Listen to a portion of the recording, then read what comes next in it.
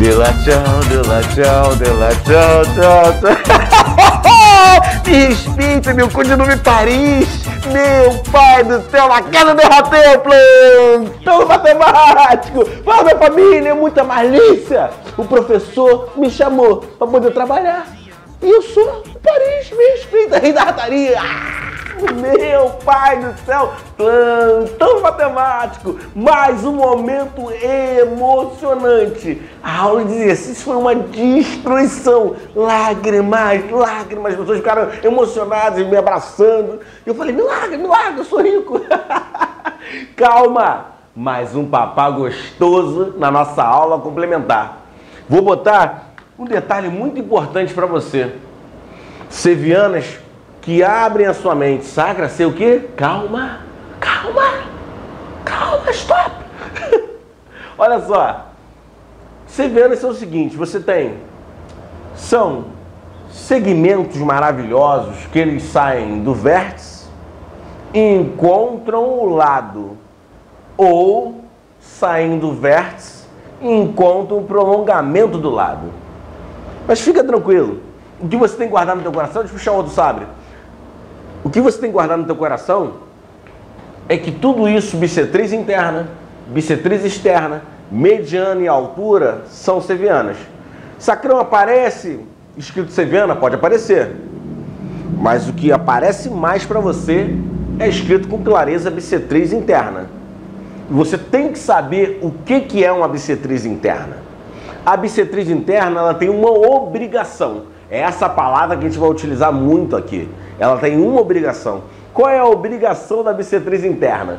A obrigação da bissetriz interna que sai do vértice e toca ao lado é dividir o ângulo em duas partes o quê? Congruentes. Essa é a obrigação de uma bissetriz interna. Então, por exemplo, ele botou numa questão assim, ó. Falou para você que esse ângulo aqui, esse maravilhoso, vale 60 graus. Falou para você que esse maravilhoso aqui, ele vale 70 graus. Você já aprendeu nessa sequência maravilhosa que a soma dos ângulos internos de um triângulo é igual a 180 graus. Então eu sei que esse ângulo todo aqui, esse ângulo todo, ele vale quanto? Aqui vale 70, mais 60, 130 para completar 180, 50 graus. Eu sei que esse ângulo todo rosa vale 50 graus. E se ele virar um problema para você e falar que está passando uma bissetriz interna nesse ângulo de 50, a obrigação dessa bissetriz interna, eu vou chamar no verde para ficar mais bonito, a obrigação dessa bissetriz interna é dividir o ângulo em duas partes congruentes. Então quer dizer que esse teto aqui vai valer 25 graus, se aquilo ali é uma bissetriz interna, e esse outro teta maravilhoso e lindo também vai valer o quê? 25 graus. Entendeu com clareza? Só para o teu coração ficar mais limpinho ainda, vou puxar aqui a reguinha do mal. E vou fazer assim, ó. Vamos supor que a gente traça aqui uma bissetriz interna nesse maravilhoso aqui, ó. Tracei uma bissetriz interna aqui. Ele falou no problema, te avisou que é uma bissetriz interna. Se ele avisou para você que é uma bissetriz interna, qual é a obrigação da bissetriz interna? Ela divide o ângulo em duas partes, o que, gente? Congruentes, é isso aí. Se isso tudo aqui é 60, então esse camarada vai valer 30 e esse camarada também vai valer 30, porque isso é uma bissetriz o quê? Interna. Essa é a missão da bissetriz interna. Está saindo aqui do vértice, tocando de forma maravilhosa esse lado aqui. Obrigação de uma bissetriz externa. A obrigação da bissetriz externa, ela tem a mesma obrigação de uma bissetriz. Ela é bissetriz, é ou não é? Está compreendendo isso? e o que a bissetriz faz? Divide o ângulo em duas partes congruentes. Só que você vai ter a bissetriz interna, que vai dividir o ângulo interno. E você vai ter a bissetriz externa, que vai dividir o ângulo quê? externo. Esse canal é muito didático. Meu pai do céu, meu pai do céu. Então, olha só. Você tem aqui Deixa eu botar, marcar os ângulos internos para você ficar com o seu coração limpo. Vamos supor, dando sempre exemplos, que fica muito mais gostoso a vida, é ou não é? Então esse camarada aqui, vamos colocar esse lindão como 50 graus. Vamos colocar esse maravilhoso. Sacra, Só existe triângulo desse tipo com um ângulo de 50, 70, 60? Não, né? Não, né? Isso é um exemplo didático, só para você ficar tranquilo. Louco. 50 graus e aqui o que? 70 graus.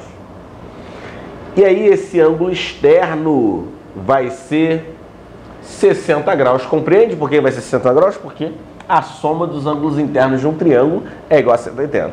Então se eu falo para você que aqui é 50 e aqui é 70, 50 mais 70, 120. Para completar 180, 60. E aí como é que se faz ângulo externo mesmo? Você prolonga o lado, prolonguei o lado, bonito? E aí marquei o ângulo, ó. Esse ângulo todo aqui, ó, isso tudo aqui é ângulo externo, porque é prolongamento junto com o outro lado. Se eu traçar uma bissetriz externa nesse ângulo externo, vai dividir o ângulo em duas partes congruentes. Esse ângulo todo, ele todinho, vou virar para cá, ele todinho de forma maravilhosa, esse ângulo todo externo, ele vai ter uma medida de 120 graus, concorda comigo? Porque se aqui é 60, o ângulo em cima de uma reta, a gente já conversou sobre isso, é igual a quanto? 180. O papai tá gostosaço. Hum, hum, hum. É, não é? Tracei uma bissetriz externa, que tem obrigação, qual é a obrigação da bissetriz externa? Dividir o ângulo externo em duas partes congruentes. Se aqui é 120, então esse maravilhoso aqui é 60 graus, e esse lindo aqui também vai ter medida de quanto? 60 graus.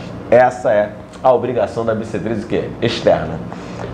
Agora vamos falar a respeito da obrigação dessa outra seviana que é a mediana. Qual é a obrigação da mediana?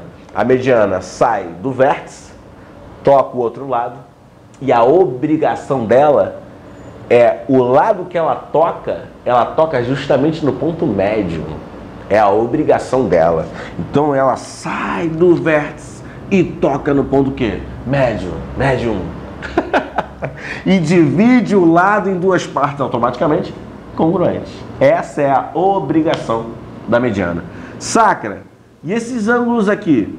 Tem a obrigação de ser 90? Não. Essa não é a obrigação da mediana.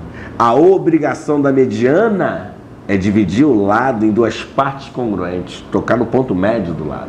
Bonito isso? Pode acontecer, Sacrinha, de uma mediana formar ângulo de 90 a 90? Pode. Mas é obrigação dela? Não. Pode acontecer. Só para reforçar bonito, se eu traçar uma mediana desse vértice aqui, ela vai fazer isso aqui, ó. Vai sair daqui. Se eu falar para você que ela é mediana, ela vai sair daqui, vai tocar ao lado. Vou chamar esse ponto de ponto N. E esse ponto N, se isso aqui é uma mediana, ela vai dividir o lado em duas partes o quê? Congruentes. Essa é a obrigação de uma mediana. Bonito isso? Sacrinha, para finalizar, qual é a obrigação de uma altura? A obrigação da altura, ela sai forma maravilhosa aqui, do vértice e toca o lado, ou prolongamento do lado. Ela sai daqui, toca o lado, e a obrigação dela é ser perpendicular ao lado, ou ao prolongamento. Em outras palavras, ela forma 90 graus com o lado. Essa é a obrigação dela. Sacra, a altura vai ter a obrigação de dividir o lado em duas partes congruentes? De tocar no ponto médio? Não, não, não, não, não. A obrigação dela é formar ângulo de quê? 90 graus. Gostou desse papá? Gostou desse teletão? Gostou, né? Corta, mulher!